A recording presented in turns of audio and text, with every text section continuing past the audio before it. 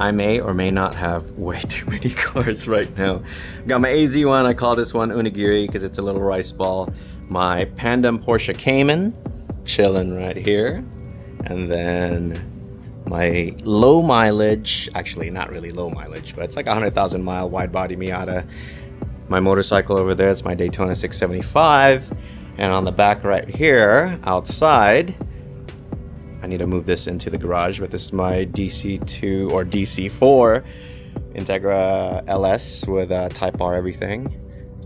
And then I got my daily Genesis project over there. So um, a lot to work on this year. I'm building this guy, I'm building the Genesis, and I'm still messing around with the um, with the Integra over there, obviously. So, yeah, if you guys don't see me post anything for a while, it's probably because I'm building something and not filming it. Because, dang, that's a lot of cars, dude.